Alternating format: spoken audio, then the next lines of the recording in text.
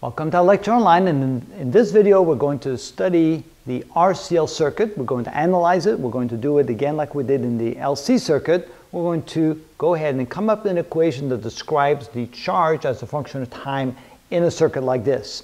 The way we do that, we use Kirchhoff's rules by going around the circuit and uh, assuming that we have charge on the capacitor, we close the switch at t equals zero and of course then the charge will go uh, through the resistor, through the inductor, to the other side of the capacitor, back and forth, back and forth like that. There will be some oscillatory motion, some going back and forth of the charge. But since we're going through the resistor, energy will be taken out of the system and the oscillations will slow down. So three things we're going to find. We want to find out how fast the oscillations slow down because of the resistor. We want to know what the new frequency will be because there's now a resistor in the circuit instead of just a capacitor and inductor. And we want to find the equation of the charge as a function of time.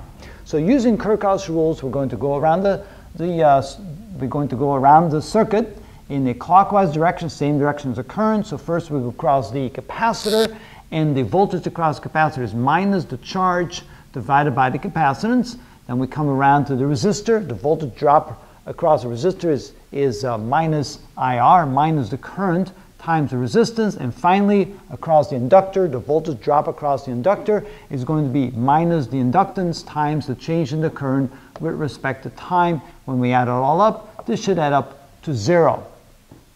So now we have to solve this equation.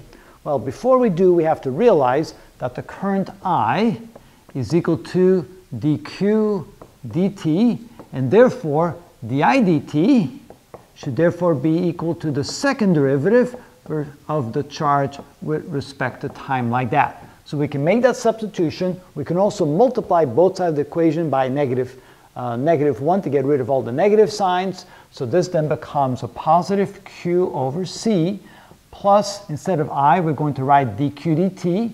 So dq dt times r minus l times, oh, plus, because I multiply everything by negative 1, and plus l times the second derivative of q with respect to time. So if we let this equal to q prime, and this equal to q double prime to make it easier, and then move things around, so this is equal to zero. So write this one first, we get L times q double prime plus r times q prime plus q over c is equal to zero. All right, the next step is we're going to divide both sides of the equation by L. When we do that, we get q double prime plus r over L times q prime plus q over L times c is equal to 0.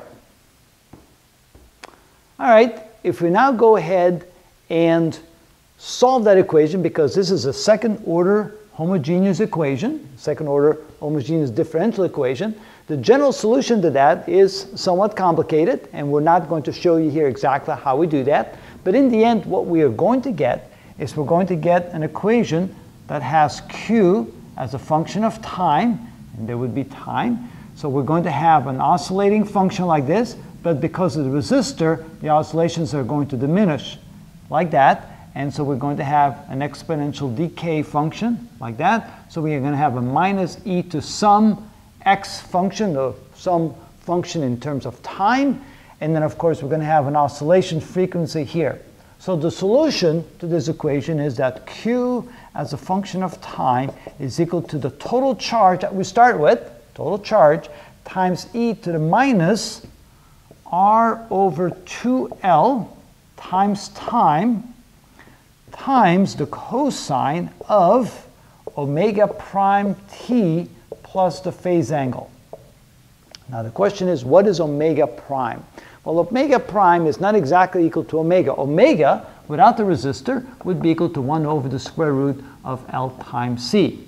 But omega prime is going to be slightly lower frequency because the resistance will actually diminish that frequency. And it turns out that this quantity here squared becomes the term that you want to subtract from 1 over the square root of LC. So omega prime is equal to the square root of 1 over LC minus this quantity squared right here, so it would be r divided by 2l quantity squared.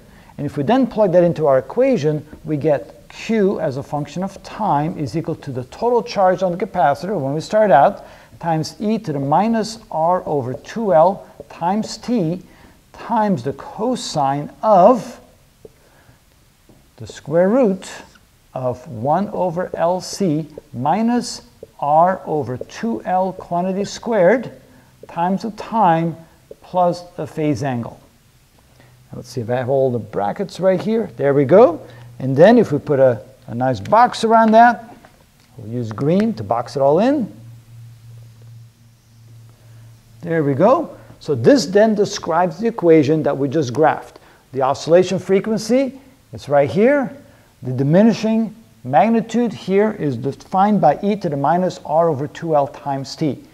Notice the bigger the resistor, the more it will slow down the frequency. That's why r is in the top.